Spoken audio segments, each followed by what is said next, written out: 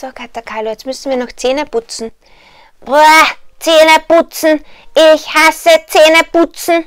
Ja, Kater Carlo, es muss sein. Du weißt doch. Willst du zum Katzenzahnarzt?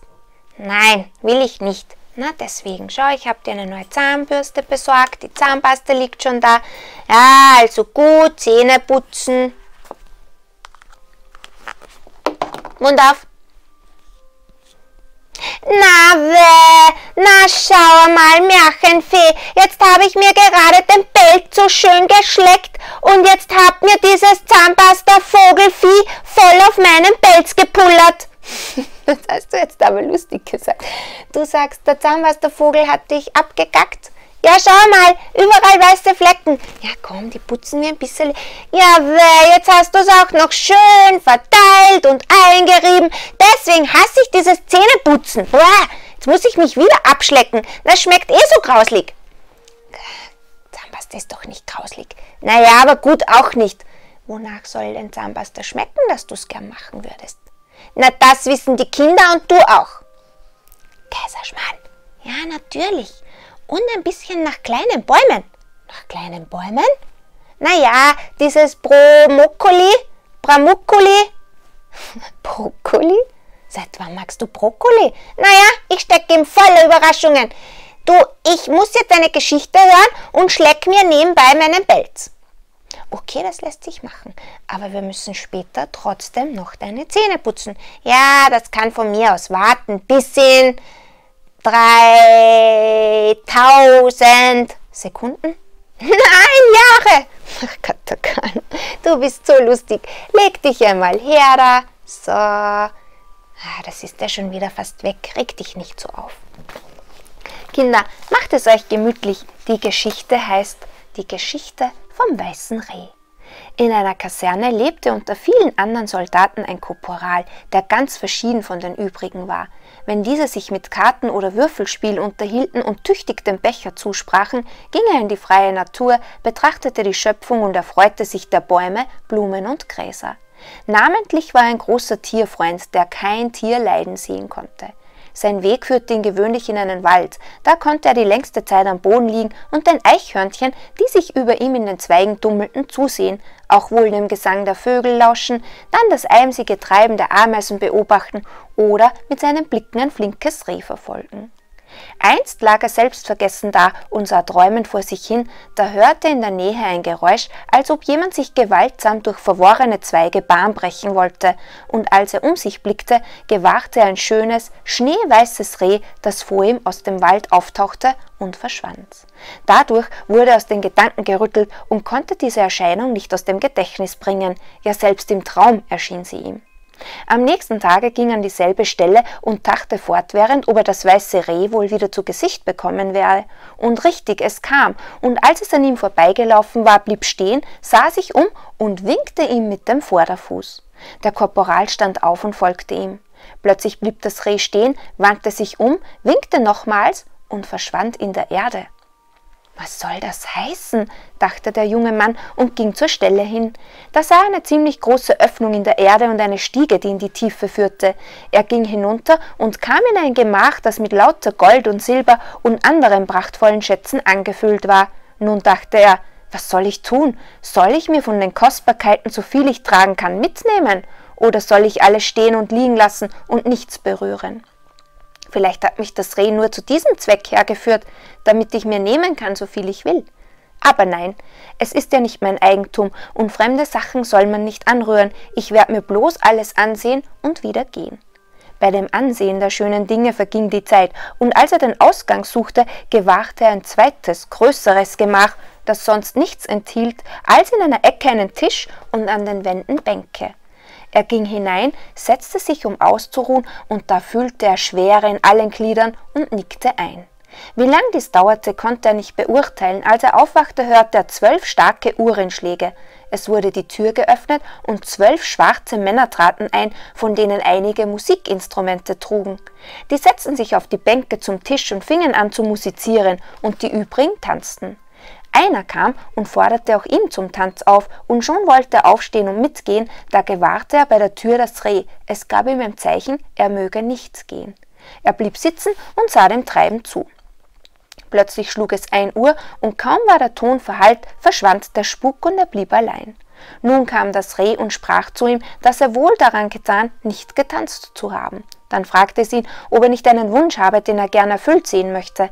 Ach, den hätte ich wohl, meinte der Korporal, aber leider wird er sich nicht verwirklichen. Was für ein Wunsch ist das? versetzte das Reh. Der Wunsch zu reisen, die Welt kennenzulernen, erwiderte er. Das wäre mein einzig Glück, aber ich habe kein Geld und bin als Soldat gebunden. Daher muss ich mein Leben unter Kameraden zubringen, die mich nicht verstehen und mich sogar verspotten. Nun, sprach das Reh, dieser Wunsch soll erfüllt werden. Geh nach Hause, es wird Tag. Morgen sehen wir uns wieder. Am nächsten Tag fiel sein Wesen den Kameraden auf und über viele Fragen gestand er einem von ihnen, den er am liebsten hatte, sein Abenteuer. Dieser bettelte so lange mitzunehmen, bis er sich nach vielem Sträuben entschloss. Nun gingen sie nachmittags zur selben Stunde auf den Platz, wo dem Korporal das Reh erschien.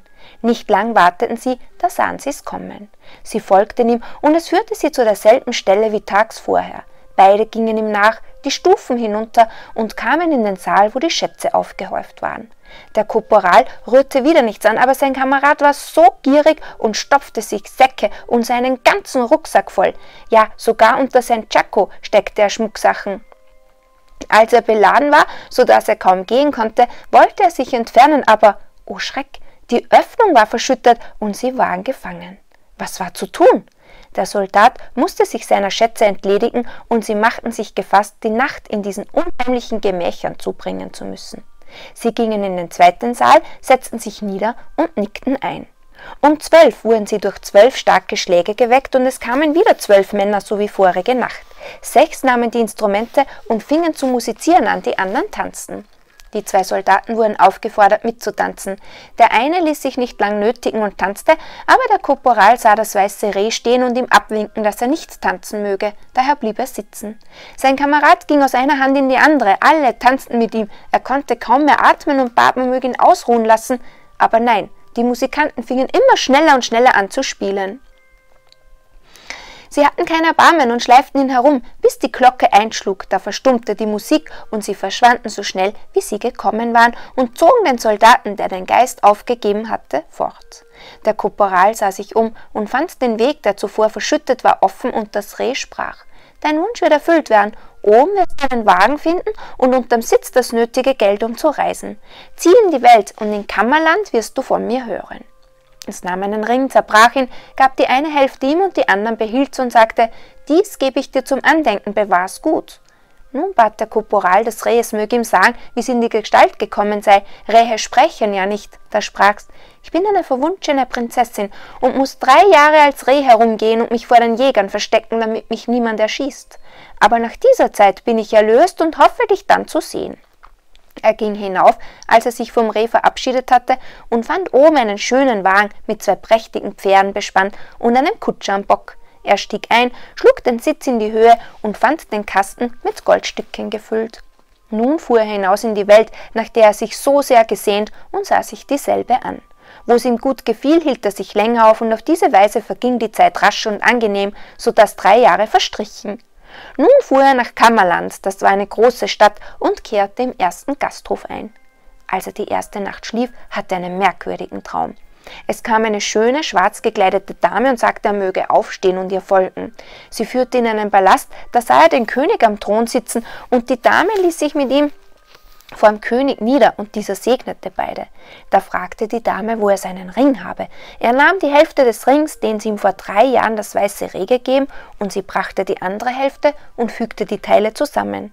Darüber erwachte er, aber der Traum war so lebhaft, dass er glaubte, dies wirklich erlebt zu haben. Als er morgens aufstand, erzählte ihm sein Diener, es sei heute Nacht eine fremde schwarze Dame im Gasthof angekommen, welche mit ihm zu sprechen gewünscht habe. Er habe aber so fest geschlafen, dass er ihn nicht wecken wollte.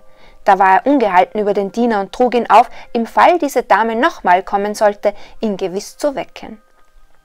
In der zweiten Nacht erschien sie ihm wieder im Traum in einem roten Kleid und war traurig. Früh fragte er den Diener, ob die Dame wieder da gewesen. Ja, sie war hier, erwiderte er. Ich wollte sie wecken, aber es war nicht möglich. Sie schliefen so fest, dass ich aufgeben musste. Da fragte er den Wirt nach der fremden Dame, aber dieser wusste von keiner. Da nahm er sich vor, die dritte Nacht nicht zu Bett zu gehen, aber er hielt es nicht aus, die Augen fielen zu, er verfiel in festen Schlaf. Diesmal sah er die Dame weiß gekleidet mit Tränen in den Augen. Er wollte sie an sich ziehen, da verschwand sie und er erwachte. Es war heller Tag, und als er sich ankleidete, fand er am Tisch die andere Ringhälfte und mit Kreide folgende Zeilen. Ein Lebwohl vom weißen Reh. Gern hätte ich dich wiedergesehen, dass dies nicht sein konnte, hat dein Diener verschuldet, der dir einen Schlaftrunk gegeben. Nun war er unglücklich, dass er das Reh in seiner nunmehrigen Gestalt als menschliches Wesen niemals mehr sehen sollte, und sein Zorn entlud sich auf den Diener, den er entließ. Er nahm sich vor, eine Zeit lang in der Stadt zu bleiben, vielleicht könnte er Nachricht von der Dame bekommen. Einmal erfuhr er, dass die Prinzessin Amarantha, die Tochter des Königs, welche erst kürzlich nach langer Abwesenheit ins Vaterhaus zurückgekehrt, sehr viele Freier habe, denn dieselbe sei ebenso schön wie klug, aber sie wolle trotz des Drängens des Vaters nicht heiraten und trachte ihre Freier auf folgend sonderbare Weise zu entledigen. Es müsse sich jeder, der um sie wirbt, dreimal verstecken und nur, wenn sie ihn nirgends finden könne, wäre sie seine Gemahlin. Nun habe sie einen Zauberspiegel, wenn sie hineinschaue, sehe sie alles in der Welt, daher sie noch jem im Versteck entdeckt habe. Als der junge Mann dies hörte, reizte ihn sein Abenteuer und er ging hin und meldete sich als Freier. Es wurde ihm, ebenso wie den Rivalen, ein Zimmer im königlichen Palast angewiesen. Er sollte sich binnen drei Tagen das erste Mal verstecken. Aus Langeweile machte er ums Schloss herum Spaziergänge. Da sah er zwei Knaben, die einen großen schwarzen Vogel marterten. Einer wollte ihm die Federn ausreißen. Da wurde er unwillig über diese Buben und verwies ihnen ihr Tun. Um den Vogel aus den Händen zu befreien, gab er ihnen Gold und schenkte ihnen Freiheit. Der Vogel flog in die Höhe und kreiste um ihn herum, als ob er seinen Dank dadurch hätte zeigen wollen. Als der dritte Tag gekommen, sah er sich um, wo sich ein Versteck finden könnte, aber trotz aller Mühe konnte er nichts Passendes finden. Es wurde ihm bang, der Tag neigte sich, und schon wollte er unter eine Brücke kriechen, um sich zu verstecken, als er ein Rauschen über dem Kopf vernahm, er blickte empor, gewahrte einen riesengroßen schwarzen Vogel, der ihn herabließ, ihn unter die Fittiche nahm und in die Luft flog. Als die abgelaufene Frist von drei Tagen um war und die letzte Stunde schlug, nahm die Prinzessin den Zauberspiegel und suchte den versteckten Freier, aber sie fand ihn nicht. Auf der Erde war er nirgends zu finden, da sah sie ins Wasser, da war er nicht, dann in die Luft, da gewahrte sie unter den Fittichen eines großen Vogels. Das imponierte ihr und sie sprach, dieser Mensch ist mit übernatürlichen Kräften im Bund. Wenn er sich die anderen beiden Mädel ebenso gut verstecken will, dann will ich seine Gemahlin sein. Der Vogel ließ ihn herab, als sie ihn erblickt hatte, und nun hieß es für ein zweites Versteck zu sorgen. Es wurden ihm wieder drei Tage Zeit gelassen, um sich die Langeweile zu vertreiben, machte er Spaziergänge. Diesmal wählte er das Ufer des Flusses, der nah beim Schloss vorbeirauschte. Da sah er einen Fisch am Ufer, halb verschmachtet, weil er sich am Trockenen befand. Aus Mitleid setzte er ins Wasser, der tauchte unter, kam in die Höhe und schwamm dreimal im Kreis, um seinen Dank zu zeigen. Als zum zweiten Mal die Zeit zu Ende gegangen und er wieder nicht wusste, wohin er sich verstecken sollte, ging er auf die Brücke des Flusses. Als er zur Stelle kam, wo er den Fisch ins Wasser gesetzt hatte, tauchte derselbe in die Höhe, sperrte sein Maul auf und verschlang ihn. Als die Glocke schlug, nahm die Prinzessin den Zauberspiegel und suchte auf der ganzen Erde, fand ihn aber nicht. Dann sah sie in die Luft, da war er auch nicht. Endlich schaute sie ins Wasser, da sah sie ihn im Maul des Fisches. Darüber war sie erstaunt und dachte, wenn dieser Mann solche Zauberkünste zustande bringt, muss ich mich ergeben. Als er sich entdeckt sah, spie ihn der Fisch an Land. Nun kam das dritte Versteck. Diesmal glaubte er nicht, dass es ihm gelingen werde, sich gut verstecken zu können. Er dachte, der Vogel und der Fisch werden mich nicht ein zweites Mal verstecken. Wer sollte sich erbarmen? Er ging im Schlossgarten spazieren und sah sich die schönen Blumen an. Da gewahrte er einen Stock Rosmarin, ganz von Unkraut überwuchert, so dass derselbe verkümmert war und nicht wachsen konnte. Ist doch schade, dachte er um diesen schönen Stock, dass er hier verderben soll. Ich werde ihn ausgraben und in lockeres Erdreich pflanzen. Gesagt, getan. Er borgte sich beim Gärtner einen Spaten, grub den Stock aus der Erde und setzte ihn auf einen sonnigen Platz. Am dritten Tag, gerade als der Termin zu Ende war und er ratlos hin und her ging und nicht wusste, wo er ein Versteck finden werde, fiel ihm der Rosmarin ein. Er dachte, ich muss nachsehen, ob er wächst. Er ging zum Platz und bückte sich, um ihn besser sehen zu können. Auf einmal schoss der Rosmarin empor, breitete sich aus, wurde höher und dichter, bis sich eine Art Kuppel über ihm bildete, so dass es wie eine Kapelle anzusehen und er eingeschlossen war. Die entscheidende Stunde schlug, die Prinzessin sah in den Spiegel, aber fand ihn nirgends weder auf der Erde noch in der Luft noch im Wasser. Es wurde ihr bang, und sie bereute ihn ein drittes Mal zum Versteck veranlasst zu haben. Voll Missmut begab sie sich in den Schlossgarten und promenierte dort mit der Kammerfrau. Da sah sie neben dem Weg eine prächtige Kapelle aus Rosmarin, die früher nicht dagewesen. Sie sandte nach dem Gärtner und fragte ihn, wie diese Kapelle herkomme. Der war erstaunt und konnte sich das Wunder nicht erklären. Nun ließ sich die Prinzessin eine Schere geben und schnitt einen Stängel vom Rosmarin ab. Da sank die Kapelle zusammen. Es blieb nichts zurück als ein Stock, und daneben stand der junge Mann. Die Prinzessin war angenehm überrascht. Sie gab ihm die Hand und ging mit ihm im Schloss zum König und sagte Herr, lieber Vater, siehst du meinen zukünftigen Gemahl? Er hat die Bedingungen erfüllt, die ich an ihn gestellt, deshalb muss ich Wort halten. Als die Hochzeit vorüber war, gestand die Prinzessin, dass er kein Fremder für sie sei, da sie ihn schon lang kennt. Er möge ihr den gebrochenen Ring zeigen, den sie ihm einmal, als sie noch in Gestalt eines weißen Rehs auf der Erde war, gegeben. Sie habe sich sehr gekränkt, dass er die Zeit verschlafen, als sie zu ihm gekommen, und sie hatte ihren vielen Freiern so harte Bedingungen auferlegt, weil sie keinen anderen wollte. Eh, du hast einmal was Lustiges gesagt. Wo denn? Ja, irgendwas mit Chaco. Ich glaube ja, das heißt Sakko. Carlo, du hast so gut aufgepasst. Ja, was glaubst denn du? Glaubst du, ich mache meine Ohren zu bei einer Geschichte? Naja, wenn du deine Ohren bei der Geschichte so zumachst, wie du manchmal deinen Mund zumachst, wenn ich dir Zähne putzen will, dann würdest du nicht sehr viel mitkriegen aus der Geschichte. Ja, das stimmt. Ich mag halt das Zähneputzen nicht so gern, aber ich sehe es ja ein. Das muss sein. Hey, das war ein Reim.